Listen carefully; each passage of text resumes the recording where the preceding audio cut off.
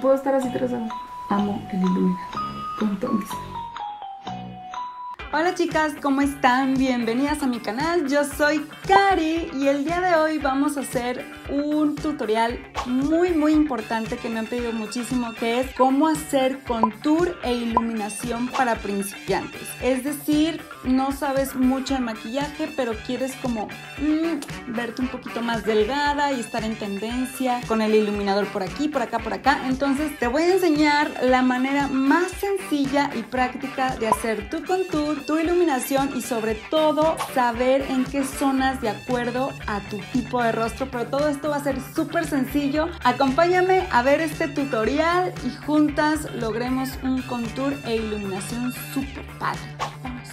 Muy bien, chicas. Lo primerito es entender un poquito cuál es la intención de hacer contour y cuál es la intención de hacer iluminación, ¿ok? Déjenme me agarro poquito el cabello porque así se va a empezar a ver la estructura de mi rostro, que es lo que quiero que, que vean. Ahorita estoy maquillada muy natural, solo la base, las cejas y pestañitas porque vamos a terminar todo esto muy bonito, ¿ok? Como en todas las reglas de la estética, por ejemplo, eh, los ojos vamos a intentar hacerlos más almendrados. Por ejemplo, las cejas un poquito gruesas y arqueadas, ¿no? Los labios los vamos a crear ser más gruesos. En la parte del rostro, según la estética, el que se ve más bonito es el rostro ovalado. No quiero encasillarte en descubrir tu tipo de rostro si es triangular, cuadrado, rectángulo, redondo, porque a mi parecer siento que ya clavarte en eso es como muy old school. Ahorita lo importante es que entiendas que vamos a querer lograr un rostro ovalado. Entonces desde ahí parte lo más básico. La intención del contour es ocultar ciertas partes de tu rostro y la iluminación nos va a ayudar a resaltar ciertas zonas óseas de nuestro rostro para que el ojo solo capte esos puntos de luz. Por lo tanto, va a ser más importante la luz que la sombra. De hecho, si tú solo quisieras hacer la pura iluminación, está perfecto porque el ojo capta primero la luz en vez de las sombras. Entonces, automáticamente lo que ve iluminado, lo demás lo esconde. Para que me entiendas mejor, vamos a hacer este ejercicio, ¿ok? Lo primero que vamos a hacer es visualizar un óvalo en nuestro rostro. No importa el tipo de rostro que tengas, tú vas a visualizar el óvalo. Si ustedes pueden ver un poquito, no significa que yo necesite mil contour porque este es mi tipo de rostro, por eso es más fácil cada quien que lo haga en casa con su rostro, ¿no? Si se fijan, fuera de ese óvalo que dibujamos, lo más que sale es la parte de la frente porque no está proporcional a lo demás. Yo sí tengo como muy marcado la parte del pómulo, pero aún así mi rostro se va como muy alargado, alargado. Y lo que está desproporcionado es la frente. Lo que más necesito es ocultar un poquito la frente y lo demás creo que está muy bien. La diferencia es que yo estoy un poquito alargada de aquí, como el mentoncito, y tengo estos puntos aquí. Entonces vamos a procurar dar un poquito de sombra en esta parte. En resumen, para que lo entiendas mejor, tú vas a dibujar un óvalo en tu rostro y todo lo que salga de tu óvalo lo vamos a contornear de esta manera. Yo voy a usar esta barra modeladora de Unique, que es la cosa más sencilla del mundo. De un lado tiene el tono oscuro y del otro lado tiene el tono clarito. No sé si lo alcanzas a ver. Voy a comenzar con el tono oscuro para dibujar eh, lo que quiero contornear.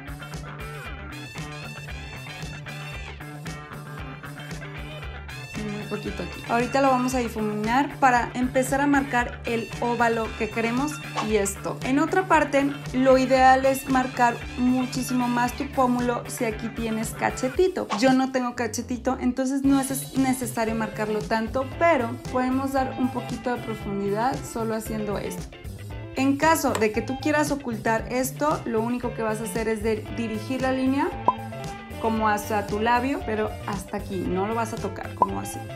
El contour en la nariz a mí me encanta porque es como que se te hace la nariz así finita, finita, finita y solo vamos a hacer dos rayitas. Tienes que identificar la medida como de tu tabique aquí para que sepas que esa va a ser la medida y de ahí nos vamos a ir para abajo. Mucha gente hace su contour fuera de la nariz y lo único que estás haciendo es como marcar tu nariz así de gruesa y lo que queremos es hacerla bien, bien, bien delgadita así como la medida de aquí de tu tabique Me voy de aquí del tabique en línea completamente recta, bueno, lo más que pueda. Y de aquí del tabique rectitas. ¿Se fijan? Están súper, súper rectas y lo más delgadito que se pueda. Si hay que dejar un espacio en medio donde va a entrar la luz, o sea, mi nariz es chiquita, pero aún así la hice un poquito más fina. Si yo hubiera hecho la línea por fuera, pues mi nariz sería exactamente igual como yo la tenía antes.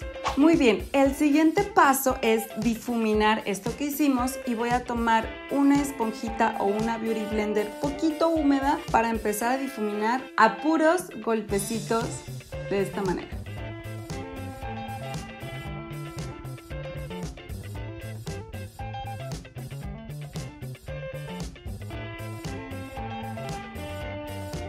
Cuando llegues a la parte de la nariz vas a difuminar hacia afuera para respetar la línea de luz que quedó en medio de tus dos líneas oscuras. Para que esto se considere un buen contour, definitivamente no se tienen que ver rayas, se tienen que ver zonas oscuras. Por ejemplo, esta zona, esta zona de aquí, aquí por acá, esta parte de aquí, que tal vez si yo no te hubiera dicho que me hice contour, ni cuenta te das. Ese es un buen contour, que no se sepa que hay contour, porque si no luego es súper evidente las rayas, las rayas aquí y como que no se ve muy padre que el siguiente paso vamos a utilizar el otro lado de la barra modeladora. Es un corrector en tono natural para que tú puedas tener un corrector bueno y hagamos iluminación en esta parte de aquí de la ojera. Debe de ser un tono abajo de tu color de base de maquillaje. No debe ser ni muy blanco ni muy amarillo y que sí se distinga de tu tono de base. Esto es bien sencillo. Vamos a iluminar la parte de la ojera como si fuera un triangulito muy pequeño. Vamos a partir de aquí y vamos a crear como una estrellita. Vas a partir de aquí de tu surco y vas a hacer abajo, abajo, abajo, abajo, como una estrellita y al final va a quedar como un triangulito. Tache si tú dibujas el triángulo y después lo rellenas. Así no es esto. La mayor cantidad de producto debe de partir del surco y de ahí distribuirse a lo demás. Recuerda que esto se va a difuminar, entonces no es necesario que llegues con tu corrector hasta acá porque ahorita lo vamos a difuminar. Lo más importante es que entiendas que el, el mayor producto tiene que estar depositado ahí porque ahí es donde está la mayor imperfección. Voy a dibujar la iluminación en el centro de mi nariz, por eso dejamos como ese huequito. Y en caso, solo en caso de que tu frente sea muy, muy, muy pequeña, dibujarías como otra tipo estrella aquí. Bueno, media estrella porque realmente es un triangulito. Lo importante es que lo hagas así como que parte del medio. Y de igual manera, el siguiente paso es difuminar con la esponjita a golpecitos es importante los golpecitos porque solamente queremos que se difumine pero que no se pierda el producto. Si tú arrastras te vas a llevar todo el producto y no vas a, dejarlo depositado en las zonas que queremos. Ahora ves la zona de luz, vamos a identificarlo de nuevo. Lo oscuro y alcanzas a ver esto iluminado y esto para acá, pero ni se ve como mapache, ni se ve como triángulos, ni nada, se ven zonas de luz. Y listo, tenemos nuestro contour en crema. Otro tip o otro consejo que te voy a dar, si vas a utilizar contour en crema como este que a pesar de que es una barra es cremosa, es importante que lo hagas antes de aplicar polvo compacto. Como yo les dije, al principio solo traía base de maquillaje y ya, pero no he aplicado mi polvo compacto. Yo ahorita si me toco me siento cremosita, entonces el siguiente paso es sellar todo con un polvo compacto. Puede ser polvo compacto, polvo translúcido, pero que quede de manera mate.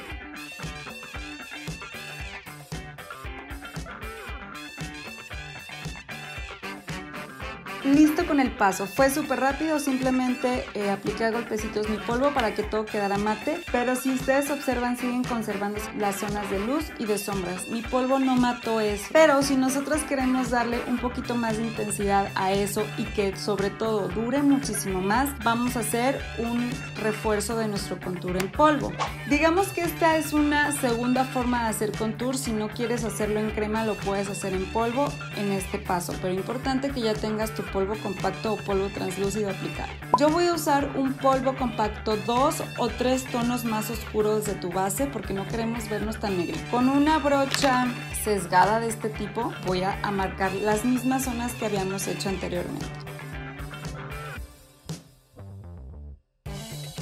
Si tú aprietas así la brochita para que se haga como más delgadita, puedes usarlo para la nariz.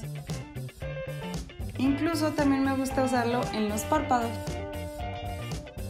Otro tip que te doy, si no quieres como comprarte un segundo polvo solo para hacer contour, te recomiendo que tengas un bronzer a la mano y también puedes hacer un contour muy muy muy básico con este bronzer. Además de que vas a tener como este destello bronceadito lindo. Y también no olvides tus párpados como un make-up no.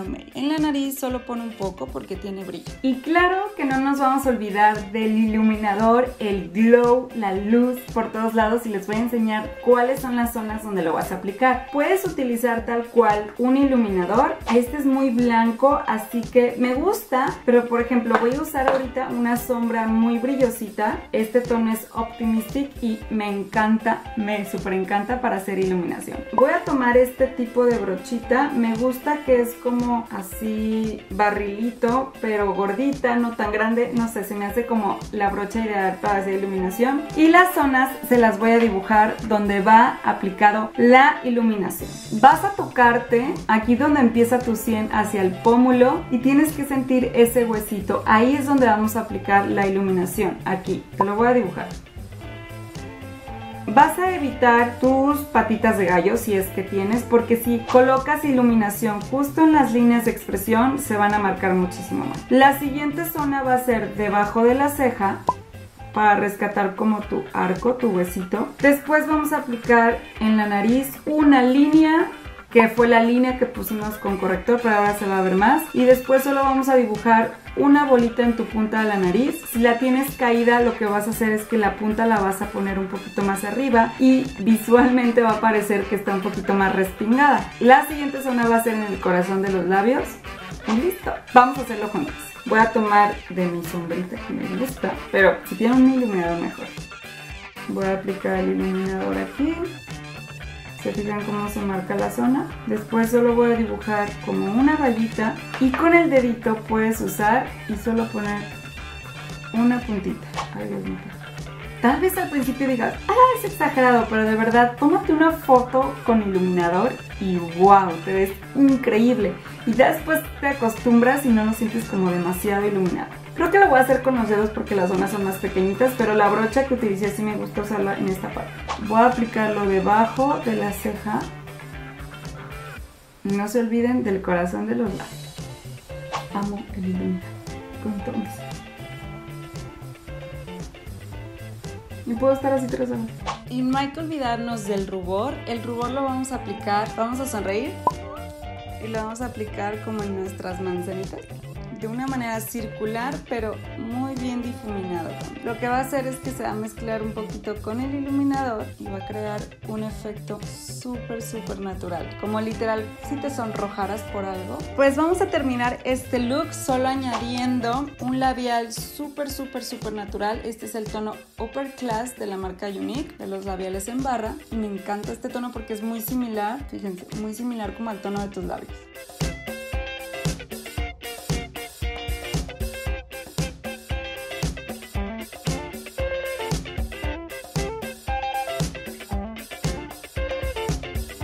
Chicas, y así es como terminamos este tutorial. Como les dije, la intención del contour y la iluminación es que no se vea tan evidente, tan de Instagram, donde ven tantas rayas y oscuro y difuminan y todo pastoso. A mí me encanta lo natural, ustedes me conocen. Por eso les hice este tutorial. Se puede llamar de principiantes, pero la verdad es la manera más sencilla de hacer el contour y que se vea muy, muy lindo. Además de que hicimos un look súper bonito, ¿no? Chicas, me despido de ustedes, antes no se olviden de seguirme en todas mis redes sociales, Facebook e Instagram y suscribirse a mi canal para que no se pierdan ningún video todos los miércoles. Gracias por acompañarme en este tutorial y déjenme en comentarios qué otro tipo de tips, consejos, clases de maquillaje, looks les gustaría ver y así vamos recreando más cosas que a ustedes les gustan. Las quiero muchísimo, les mando muchos, muchos, muchos, muchos besos. Nos vemos la próxima semana.